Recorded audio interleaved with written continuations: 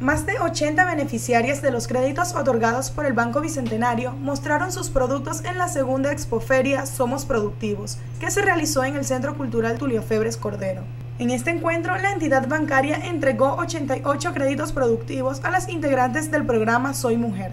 La presidenta del Consejo Legislativo del Estado Bolivariano de Mérida indicó que el proyecto ha recibido 274 créditos en la región por un monto superior a los 468 millones de bolívares. Más de 80 mujeres que van a exponer a partir de hoy sus productos y a demostrar que sí se puede en un país como Venezuela apostar a proyectos productivos que ayuden al desarrollo integral de las familias y que bueno también contribuyan de, con un granito de arena a ese desarrollo de nuestro país.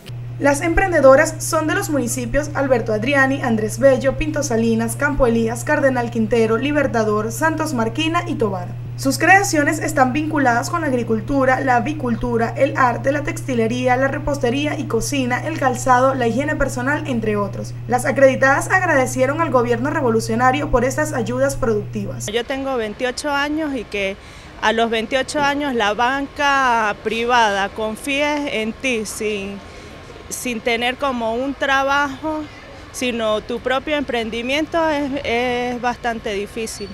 Entonces, pues imagínate, tremendo apoyo tanto para la juventud como para muchos. El gerente estatal comunal del Banco Bicentenario del Pueblo aseguró que el gobierno ejecuta políticas sociales porque los venezolanos confían en la Venezuela potencia. La expoferia culminó el 14 de mayo. Desde la Oficina de Comunicación Institucional de la Gobernación de Mérida, Isamar Prieto.